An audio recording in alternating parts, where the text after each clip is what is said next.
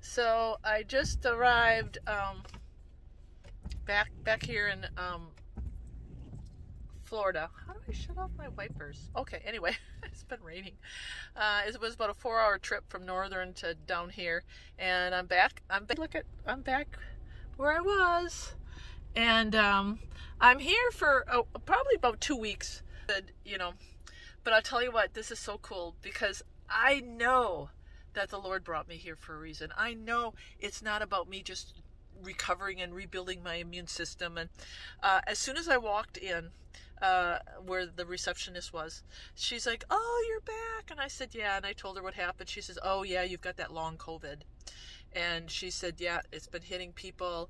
And I said, Yeah, for me, you know, because I'm so immune compromised, and uh, so the guy was sharing how he had COVID. He took Alka-Seltzer, and she said she had it, and she uh, she couldn't drink anything but um, um, water, um, just plain water, because everything else tasted so horrible. And uh, and then um, I don't know how I got on the subject. I don't know how this happens, but I said, you know, uh, it's been such a blessing because. Uh, so then um, she, uh, we have a, and and these are our little name tags. And I said, "Oh, it keeps saying I'm from Wisconsin. I'm really not from Wisconsin." She says, "Well, where are you from?" And I said, "Well, I said originally I was born and raised in Wisconsin, but I said that's not home." And she says, "Well, where is home?" And I said, "Well." I said, "Well, I guess I really don't have a home." I said, "I'm," I said, "I'm a, I'm a medical missionary." She's like, "What?" I said, "Yeah, I'm a medical missionary." She says, oh, "That is so cool," and I said, "Yeah, it, it is pretty cool." I said, um, I just, you know, wherever the Lord leads me. I said, actually, I, I work in places like this.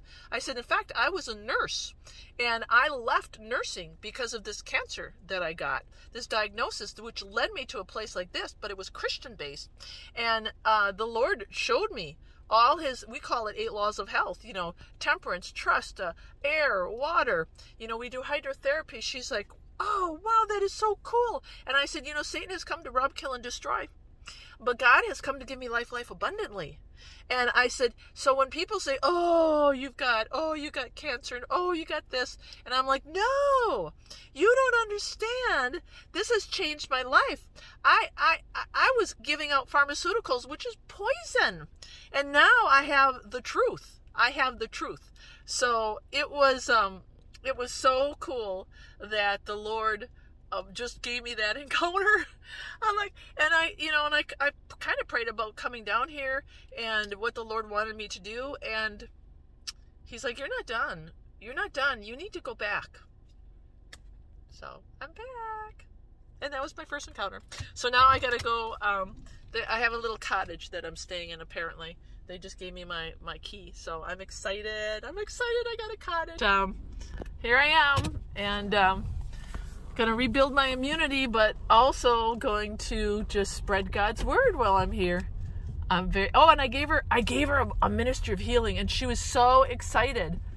She's like, "Oh, thank you." I said, "This book will just change your life."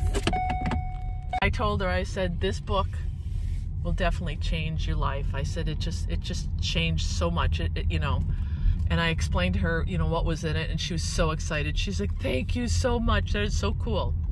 So, all right, I'm gonna.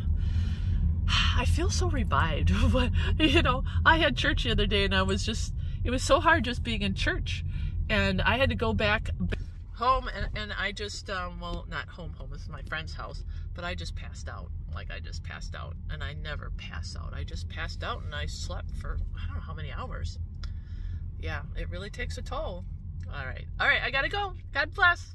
I'm I'm glad I, you're gonna be seeing more encounters. Please, please pray for me while I'm here, please, because I need I need those prayers. All right, I love it. God bless.